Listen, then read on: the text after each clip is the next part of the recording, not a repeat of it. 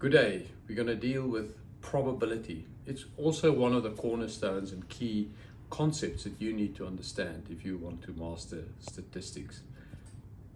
Fortunately for all of us, it's actually a relatively simple concept and you've been actually using it all your life.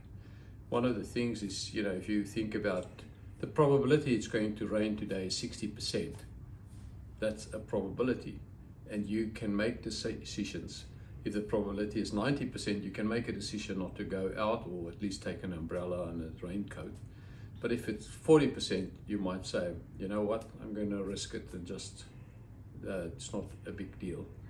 Now, one of the examples I'm actually going to talk through in the lesson is the question of how many fish is in a dam. I know it's a question that you wake up every morning and you want to ask yourself, how many fish is in a dam? Well, there are people in the world that actually, for them, it's extremely important to know it. How do you count the number of fish in a dam? You take them all out, kill them, count them, and then you say, oh, there was that many fish in the dam. You drain the dam. How do you actually do it? Well, they use statistics and a key ingredient of probability. Here's a here's my dam with my fishy. in. Nice sushi fish without the sushi, uh, without the um, black liquid that they normally put into it. Soy sauce, without the soy sauce.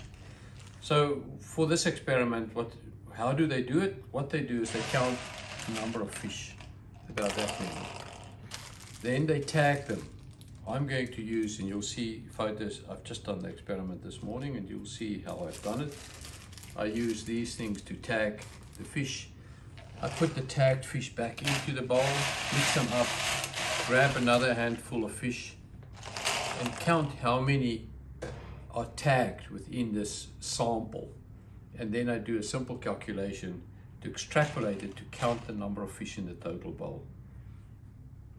See you in the lecture.